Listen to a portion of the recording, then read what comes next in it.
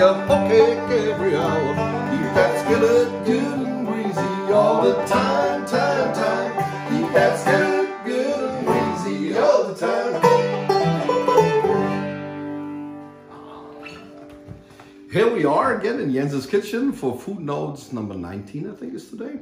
Whoa. And it's a, it's a wonderful spring day out here, uh, Easter Monday, where we're recording this. And um, we're gonna have a real special dish here today. Well, today we're gonna uh, cook the Swiss national dish. And of course, you probably have guessed it already, it's gonna be fondue. Uh, Swiss cheese fondue. What we're gonna do today we're gonna uh, show you just the basic recipe of, of what it is. Of course, there's gonna be variations, but we're really looking forward to uh, cook you this meal. The ingredients. We need some Swiss cheese and uh, the more cheesy it is, the better. So a good ripe Gruyere is good. And I got some Swiss cheese here, which is like an Emmental, but what you call Swiss cheese here in, uh, in America. Well, altogether we got 800 grams about, which is roughly a little less than two pounds. Yeah, yeah. Mm -hmm. Then we need some lemon, white wine, cherry brandy, little cornstarch, nutmeg, and pepper. Yes. And then, of course, we need bread. Um, and then you look at this bread here. Uh, this, this is, this is the, the kind of bread that we like for the fondue because it's nice and crusty. You can see it's quite hard. Uh, it's not stale. It's just it's just hard. It was made yesterday. Mm -hmm. uh, got a nice crust.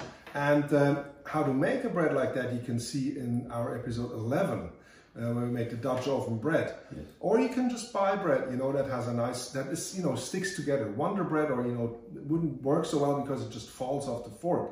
That's why. And a nice crust will help it as well. So it's not much for me to do today. Oh, it's a I do more of the meat, but this is a vegetarian thing. So Jens is the is the cheese guy. He's gonna handle the cheese. I always love cheese. Oh, I was crazy about always. cheese.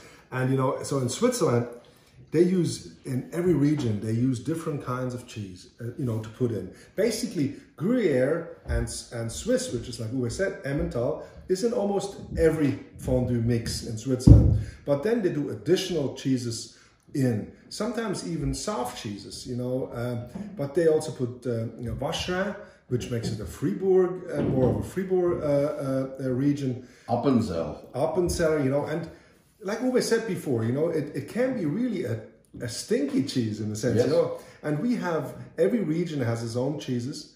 Um, from uh, from the Alps. And what we what we have in Switzerland, we have the valleys. Mm -hmm. uh, you know, we have the flatlands, they look like the Appalachians here. And then we have uh, the, the Alpine region. And then there is always a hump up, you know, from the valley up. And up on these meadows, on these high meadows, before the real just rock and Alps just start, where's, where's the, it, it, always snow and ice. Well, there's the cows, they're grazing in the summer. And uh, the farmers up there make cheese, you know, to preserve the milk. And they send these, the cheeses down to the to the villages, you know, on shoots or on, on little gondolas, and uh, it's a, it's a spectacular thing. So, but they all taste different. They all have different sizes. Mm -hmm. So, and that's why. But they most of them always put Gruyere and that cheese in it, and then mix it with some other cheeses. Yes. The uh, dish originated in the French part of Switzerland, yes. in the mountains, and therefore it's called fondue, which is just melted in French, right? Yes. That comes from that, from fondue. And um, the um, nice thing about fondue is that it really unites all of Switzerland in its in its in its thing. You know, we we we share this with everybody that that, that is in Switzerland, lives in Switzerland. It's a, it's really a, a wonderful thing. So to start this off, you know, we got to cut the cheese a little bit and then grind it. So I'm just gonna grate just it, yeah? grate it. I'm sorry, not grind it, grate it. And so I got to cut the the peel off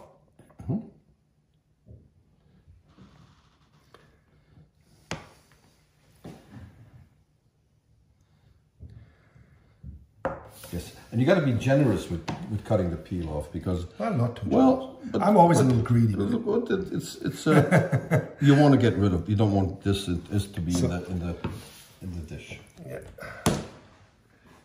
Yes, you have a machine to to uh, to grind this, right? Yes, absolutely, yes. I, Well, we could use the uh, the Rösti grinder too, right? The potato grinder.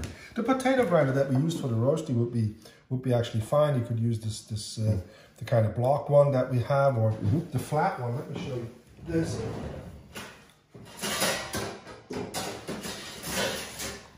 This one here is actually the traditional one. You know where they make where you make the potatoes like that. Or in America, you have them a little bit smaller, like this. You know. But we're not going to do it by hand today, you know. I, I, I want to show off my KitchenAid. And uh, so I'm just going to make a little blocks so I can get it in there. I think that's about, it's about good. I measured the weight before, you know, so it's, like we said, it's a little less than two pounds.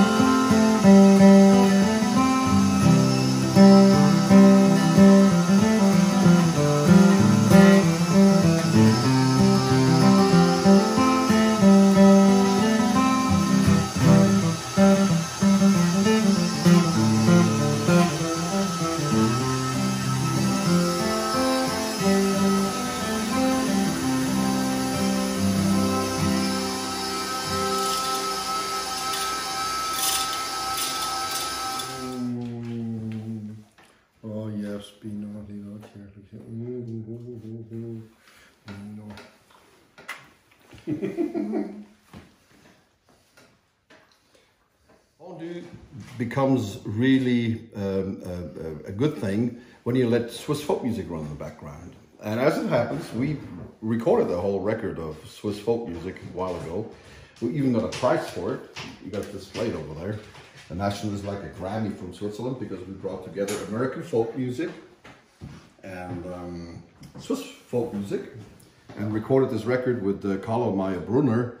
They are absolutely amazing, uh, multi award winning uh, Swiss folk musicians in, uh, in, uh, in Switzerland. And we recorded this, and we're just going to let this run in the background here.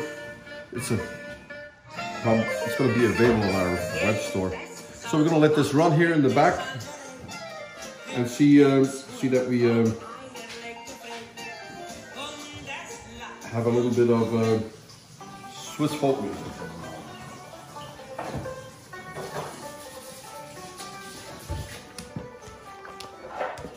Got to mention the garlic. Cannot do it, but it doesn't take much. Just maybe one, if you really like it, maybe two cloves for this whole pot. Okay?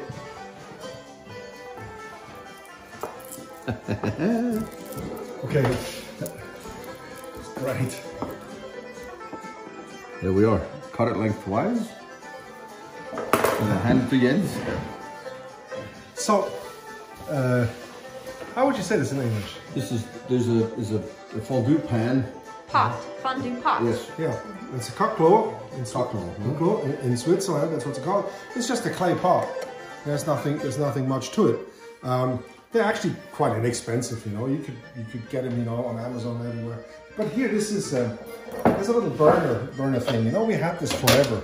And then there's a little. It's like a camping stove thing. You know, a warm warm one of these. You know, little things down here. So we don't use that yet. But we're going to cook the fondue in this in, the, in this pot. But you can use almost any kind of pot. There it is. yeah, yeah, absolutely. So what we do with the garlic, we just rub it inside uh, onto the Sides of the on, pot. the, on this on this like that, just sort of a little bit.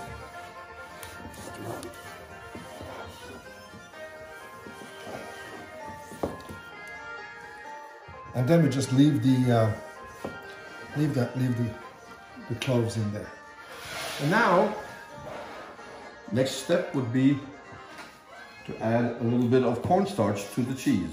yeah, About a teaspoon, right? yeah I would I would do at least yeah.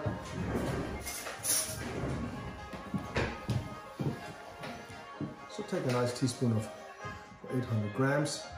Is that enough? Yeah, I think so. Then, uh, I usually mix it a little bit with, with my hand, so everything's nicely covered with a little bit of cornstarch. yeah, right. Cornstarch is important. Yeah, it is. It gives it the uh, gives it the creaminess. Yes. So we can put this in the pot.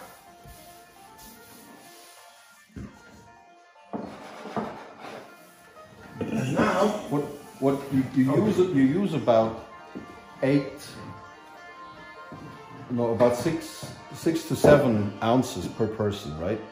Around 200 grams we say in Switzerland, but that's six ounces will be 180, seven ounces, 210, Yeah. seven ounces. it's like, you know, it, it depends, you know. I mean, it, it, there's people, you know, who don't like to eat too much of it. But, but, But but, there's, there's people like me who, who eat for two, you know. So this is a So, so the general rule, you know, I mean, rule, just the general idea is it's about half of the weight of the cheese we're going to put in it with a white wine. Um, Uwe, you can actually put a half, you know, the, the, the about half here, and just squeeze it half a lemon. Wait a second, I have it in. I have this. This is nice. Oh, perfect. Okay, I'm going to measure the, the wine.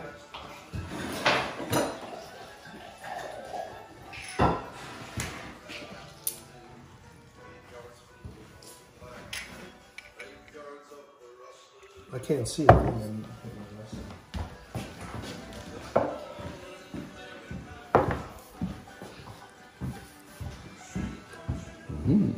So I just got about the half of the weight of the cheese, you know, which is about four deciliters, like, you know, 400 grams. But you can always, you know, readjust that after a while. So this is all put together. Mm-hmm. And now we put it on the stove. What do you think, Uwe? Yes, that looks great. Now, what I haven't thought of, Uwe, is that once we start cooking this, I cannot leave it anymore. I have to steer. Stir. Stir, not steer. Yes, stir. I'm getting an English lesson every time I do this. I'm sorry. No, no, no, no, no. I want this because you know, you hear me talk, you hear me speak. I, I need to get better. Um, so I think before we turn the stove on, why don't we play a song? Yeah, turn this off here. Yes, yeah, yeah. We turn this off and do real music. I mean, actual, you know, live music. That's what I meant. We're going to do now is we're going to sing a Swiss folk song that we wrote. we never did this while we were in Switzerland. We wrote this on the way back from Branson, I think, one one year, while we were watching a documentary that they made, Swiss TV made about our life. And so we came up with this little thing, and it's it's in Swiss German, so I'm a little bashful singing it, you know. But uh, um, it, it is it's a wonderful thing. It's, it has it's it's because it has a part of it where everybody sings along in Switzerland. When we played at our shows, and we done it over there a few times, even with the with the quartet, with the contras when they came over with us. Yes. And when you have a thousand people in the room and everybody sings this along, sings along to the song, and it, it's just a wonderful feeling, you know. It really is, and the song, the song about is about following your heart, doing what you think is right, um, and you know sometimes that's not easy to do, but you have to just keep on doing what you think you need to do and what you think is right, and that that encouragement is the song. So uh, that that says follow your heart, Uh, always follow your heart. yeah.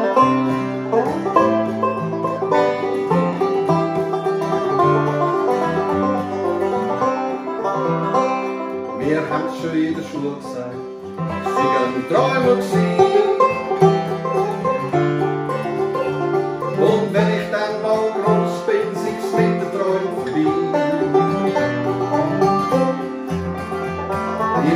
Ich nie mögen glauben, hier bleiben stehen.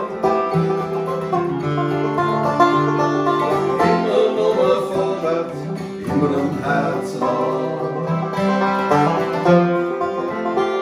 Das Leben ist ein Wunder und niemand kann's verstehen. Und was ist sie, ist schon ist noch nie da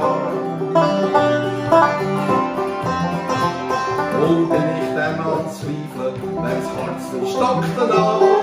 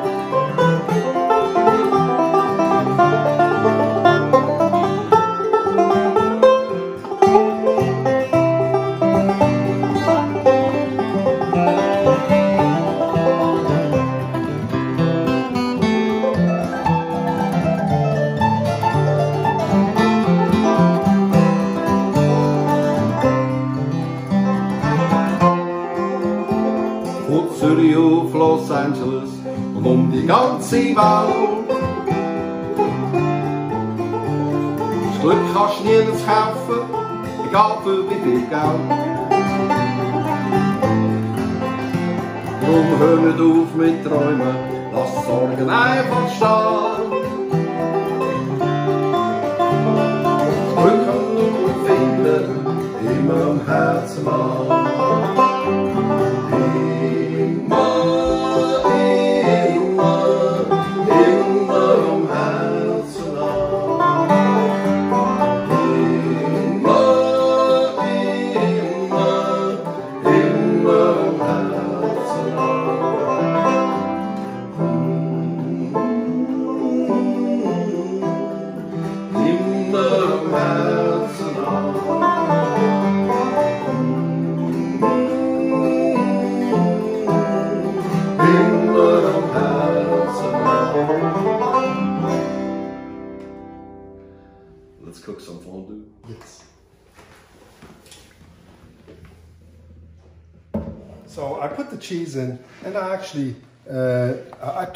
Turn it on on high for now, just to just to get everything sort of you know warmed up quickly, and then I go go down you know a little lower, and then I just you know have to start keep steer, uh, uh, uh, stirring, uh, but uh, not right now. I just have to wait a little bit.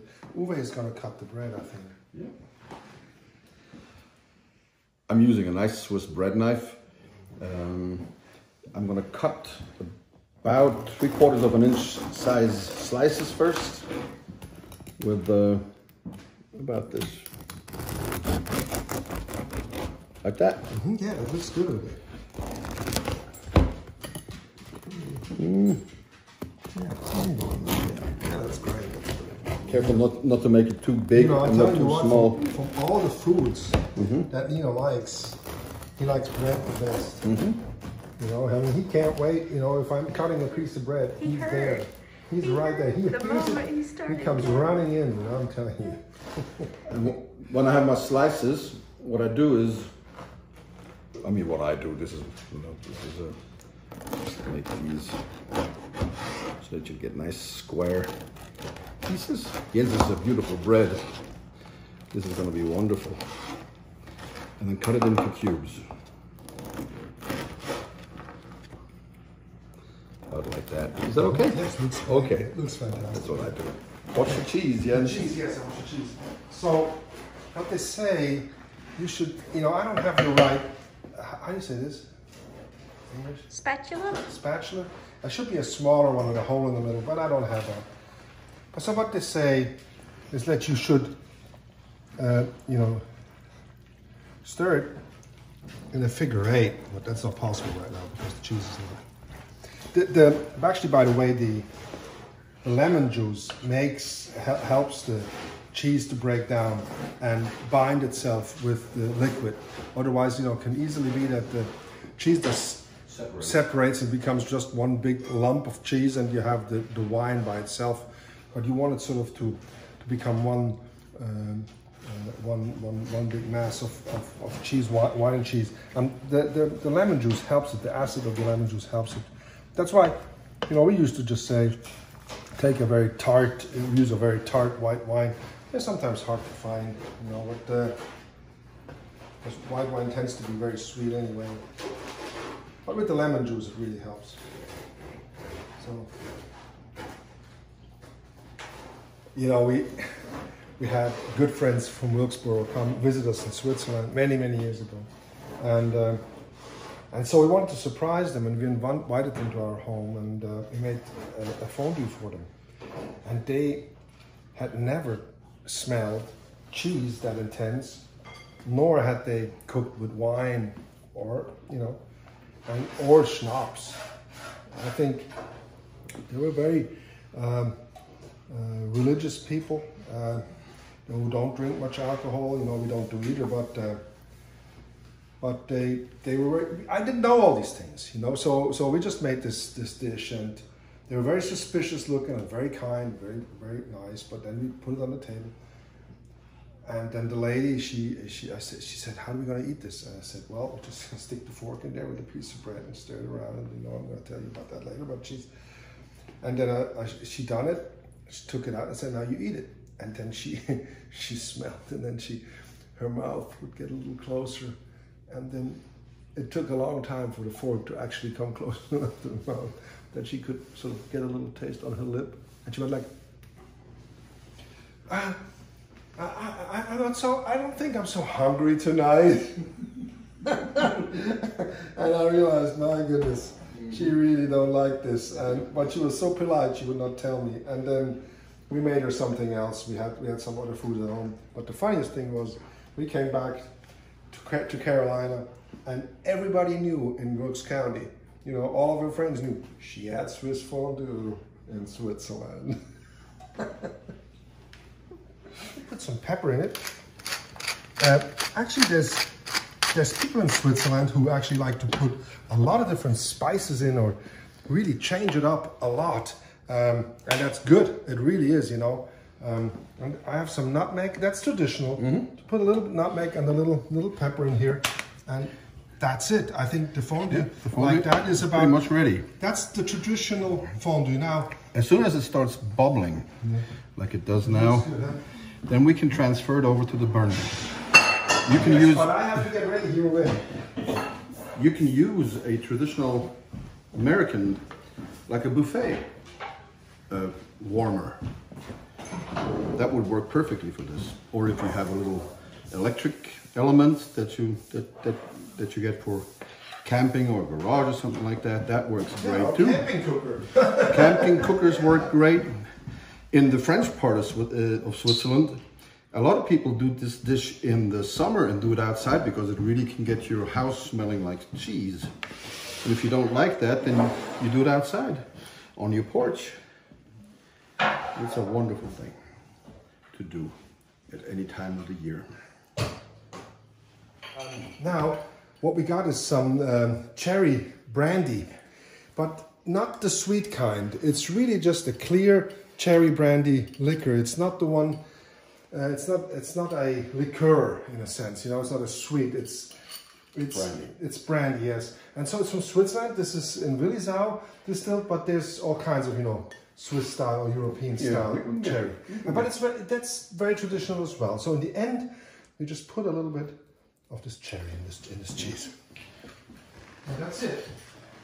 Just mix it like right up.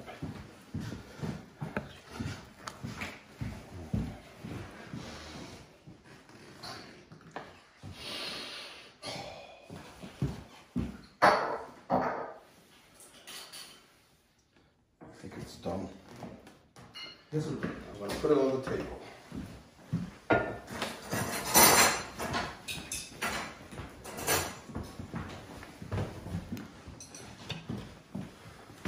Right. We are ready to eat. That was a, such a such a quick menu. Are you excited? Yes, I'm excited. okay, so you, you, put some bread on your on your plate. Just, just oh, okay. Perfect. That. Mm -hmm.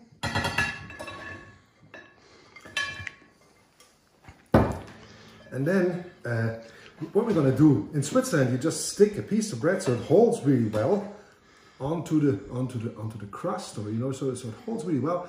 And then you steer it. You would steer it around with cheese, and you put it right in your mouth and eat it. but we're not going to do this because it's COVID time, you know, and we don't. And maybe you're afraid of doing this with other people.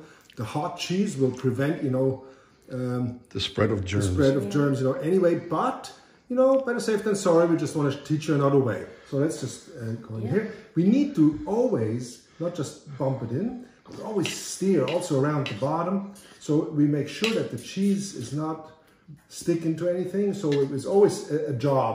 Yeah, so right? you do have to be sure you've got your bread on good, or you'll lose your bread.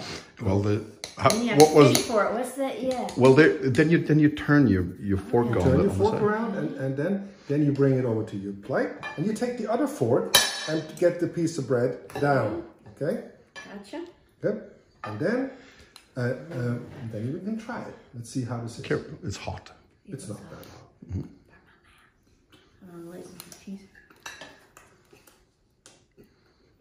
Mm, that's good. You like it? That's better than pizza. You like it? That's Mm. good. So traditionally, people would drink black tea with it, right? Okay. Or um, they discovered you know, that Coca-Cola is actually quite good.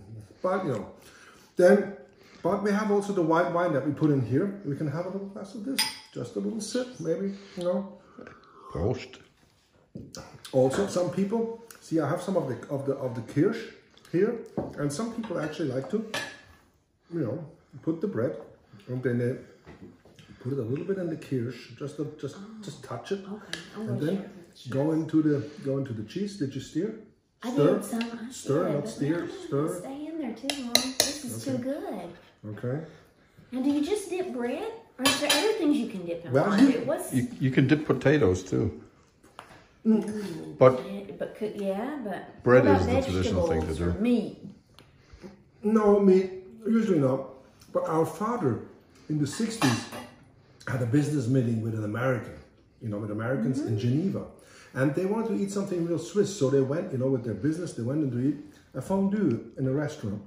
And so they ordered a, a little pot for everybody, you know, everybody had a little, little pot. And, and, uh, and so the American tried, he said, hmm.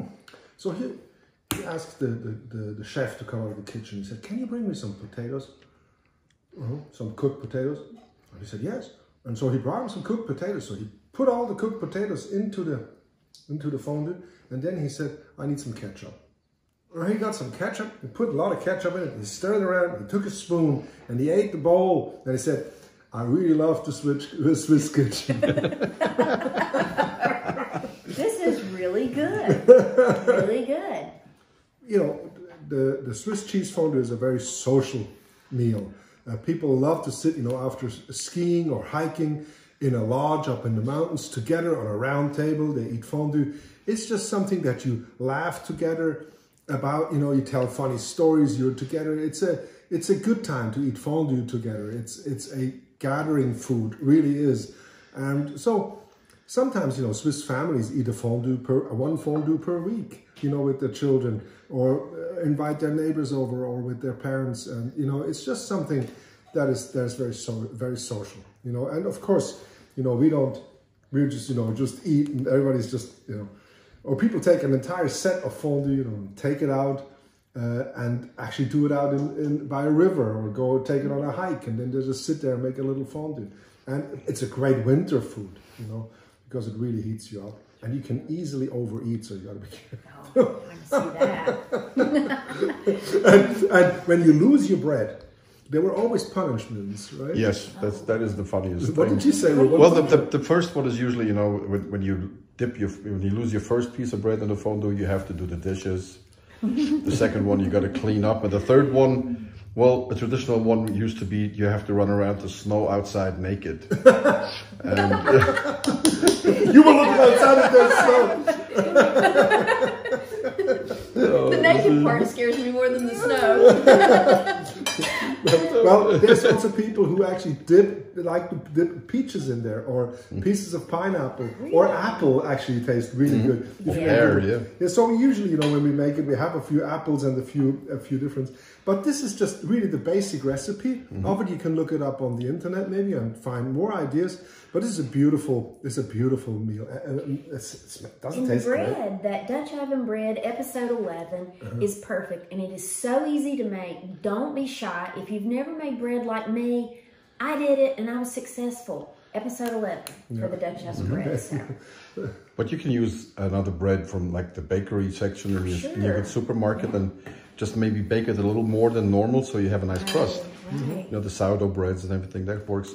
All kinds of bread work well as long as they keep together, like you said before. Mm, right? Just turned out really, really Yeah, Jens, I have I want to stop filming because I want to eat some of Okay, this. let's Come eat. on. Well, you all take care. How, how do we say it in Swiss German? And gute miteinander. And gute miteinander, yes. but there's got there was not that much music in this one, but we got we're gonna have a full weekend of we had a, just a, we had just had actually you know a full weekend of music again. Visit us on our uh, on our shows, the musical world of the Kruger Brothers, because this is what we actually do.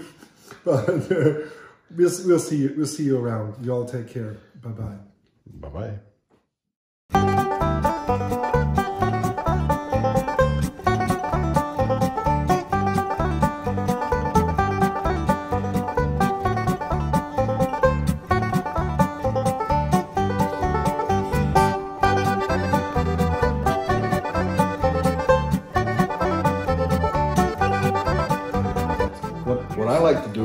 When I eat it, I put a pile of black pepper on my on my plate, Oh, that's a good. That's good. Yeah. and then when I take my, my piece of bread out and it's, it's cooled down a little bit, just dip it in the, in the pepper.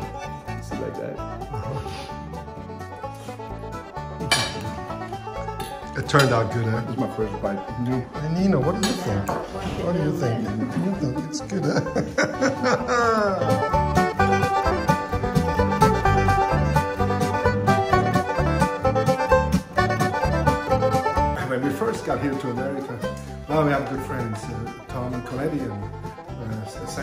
family, and they're, they're Amish, they're from the Amish community, and they ran the Shiloh General Store out here, and they sold, you know, uh, fresh cut cheeses and uh, you know the whole deli, and so we became friends, and uh, he was very interested about Switzerland and the culture because the Pennsylvania Dutch is, you know, the, the, the Amish are from Switzerland, but, you know, original, you know, from from Emmental, Bern.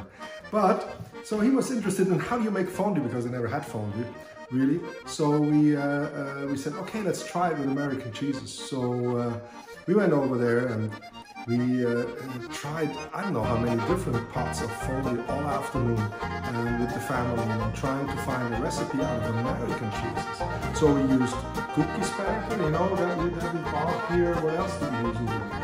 Burger, Jarlsberg, cheddars, cheddars, yes. And you know, they were all tasting different than what we made here today, but they were not bad in any way. So, you know, they're just different. And when you go to a cheese fondue place in my and her husband to a place out here in Raleigh, and they went to eat cheese fondue, and I mean, they came, I said, how was it? And they said, well, nothing didn't have a single. It, one, they didn't have one single fondue that tasted like a Swiss fondue, but it was all good food.